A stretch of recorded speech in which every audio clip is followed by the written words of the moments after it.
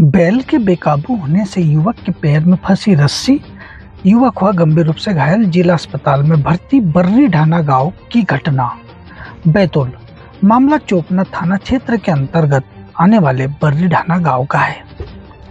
जहाँ पर बर्री ढाना के रहने वाले गंगा यादव अपने मवेशियों को देर शाम खेत से घर लेकर आ रहा था।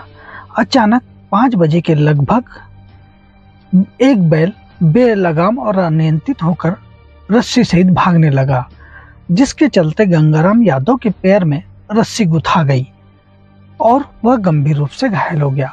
परिजनों को जानकारी लगने पर गंगा यादव को सामुदायिक अस्पताल घोड़डोंगरी में भर्ती कराया था, लेकिन गंभीर होने पर उसे रात नौ बजे के लगभग बैतूल के जिला अस्पताल रेफर कर दिया गया है। फ़िलहाल बैतूल के जिला अस्पताल में गंगा का इलाज जारी है।